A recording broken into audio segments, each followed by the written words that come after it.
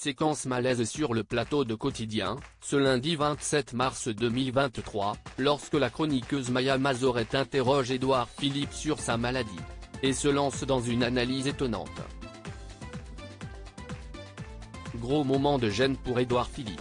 Ce lundi 27 mars 2023, l'ancien Premier ministre était l'invité de Quotidien sur TMC. Comme tous ceux qui sont reçus sur le plateau Yann Barthès, l'homme politique a été confronté aux interrogations des différents membres de l'équipe et notamment celle de Maya Mazorette. La chroniqueuse spécialiste de la thématique sexo et des rapports hommes-femmes a choisi d'évoquer avec lui les deux maladies dont il est atteint, le vitiligo qui dépigmente ses poils, et l'alopécie qui provoque la chute de ses cheveux mais aussi de sa barbe et de ses sourcils.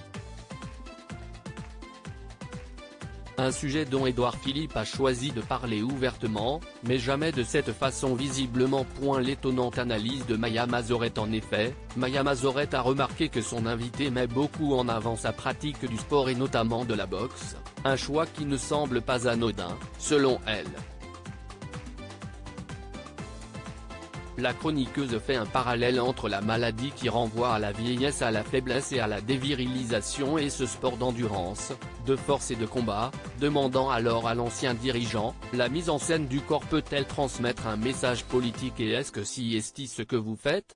Si Édouard Philippe a d'abord un peu de mal à répondre à cette question, ce qui amuse d'ailleurs le public, il a surtout de même la prendre très au sérieux.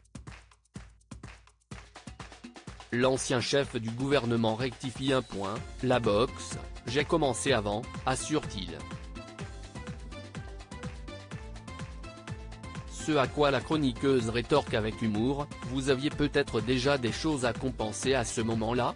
De quoi provoquer une vague de rire tant autour de la table que dans le public. Édouard Philippe très gêné sur le plateau de Quotidien mais rapidement un certain malaise va s'installer sur le plateau. Bien qu'amusé par cette sortie pour le moins culottée, Édouard Philippe s'est tout de même senti obligé de rétablir la vérité. Qui s'avère être beaucoup moins drôle. J'ai commencé la boxe quand mon père est mort, a-t-il avoué, replongeant le studio dans le silence le plus total. Tout simplement parce que ça m'a secoué comme tous les gens qui sont confrontés à ça. Et donc, je me suis dit qu'il fallait que je fasse un truc que je ne faisais pas jusqu'à présent et je me suis mis à faire de la boxe. Ça m'a fait beaucoup de bien d'ailleurs, a-t-il expliqué avant de revenir à la première question de la chroniqueuse, sur l'impact de son évolution physique sur sa carrière politique. À lire aussi Édouard Philippe revient sur la maladie et la mort de son père, c'est lui qui a décidé d'arrêter son traitement.